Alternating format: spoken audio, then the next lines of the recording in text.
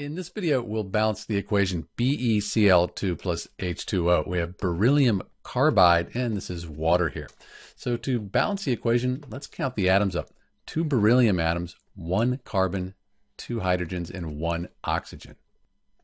But then oxygens and hydrogens, let's be careful. This 2 here, it goes to the whole thing. So we have 2 times 1, we have the 2 oxygens. 2 times the 1 hydrogens, we have 2 hydrogens. But we need to be careful. We have four more hydrogens out here, so we should add those in too. So six total hydrogen atoms. Let's first balance the beryllium here. I could put a 2 in front of the beryllium hydroxide. This 2 will go to everything here though. So now we have 1 times 2. That gives us two beryllium atoms. We have 2 times 1 times 2. So 2 times 2 is 4 for the oxygen atoms.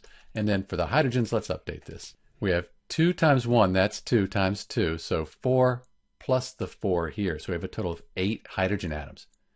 To balance the hydrogens, we could just put a 4 in front of the H2O. 2 times 4, that's 8. And let's update the oxygens. Now we have 4 times the 1, so 4 oxygen atoms. And we're done. This is the balanced equation for Be2C plus H2O, beryllium carbide and water. This video goes out to Lane, who requested it. This is Dr. B. Thanks for watching.